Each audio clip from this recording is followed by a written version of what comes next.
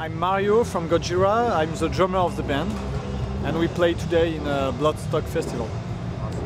So um, usually when we work on a cover of the album, it's um, usually my brother is drawing because he's very talented to draw and he have a lot of ideas.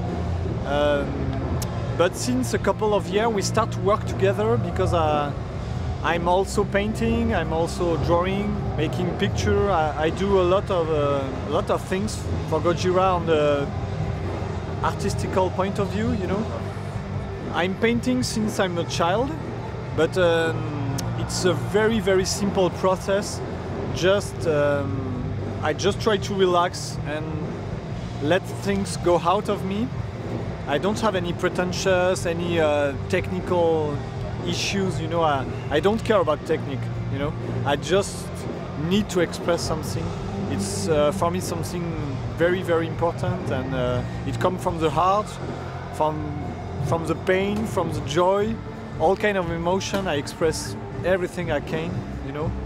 And um, now i start a new thing. I paint on my drum heads after playing you know instead of putting in a trash i do some drawings.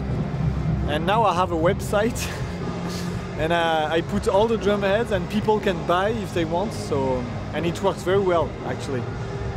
I think both aspects are very important. The music uh, without the visual there is something missing you know? So for us it's uh, the message the visual the music it's all together something very important. And uh, we need to be on the road for something. So we have a message we have uh, something to fight for and I think the visual is a part of the whole process, you know.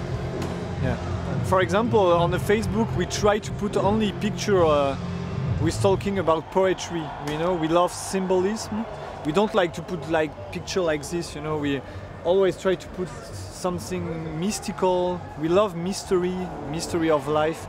We don't like when it's too much precise. You know, like uh, too much details too many details. We don't like details. We love when it's mysterious, you know.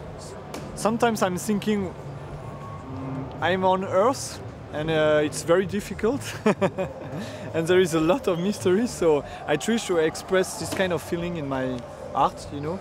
Even in the photography I love white and black and I, I love when it's between two worlds, you know. Um, it's a lot of subconscious things, you know. Uh, my fears, my everything you know I have inside and uh, I just try to translate with painting or photography. Sometimes uh, I draw something but I, I, don't know what I'm going to draw you know it's uh, and one second after I, am doing something and it's very interesting. Sometimes I watch you know what I'm painting and oh that's curious that's uh, very interesting you know. We are going to try to go deeper and deeper in the music and in the visual and in a, on stage also we, we have a lot of ambition. We want to create something amazing you know like a big screen with a, a lot of image a lot of mystical image. We want to play with light. We want to do a great show uh, trying to find some new ideas on a musical point of view. So uh, always try to uh, find some riff on the road. We have a um, like um, people around us like my sister is she's an amazing photographer, one of my biggest influence in white and black, very blurry, very mystical. It's a wonderful work, and she do a lot, a lot of picture for us, also for the live and also for uh, just picture of the band.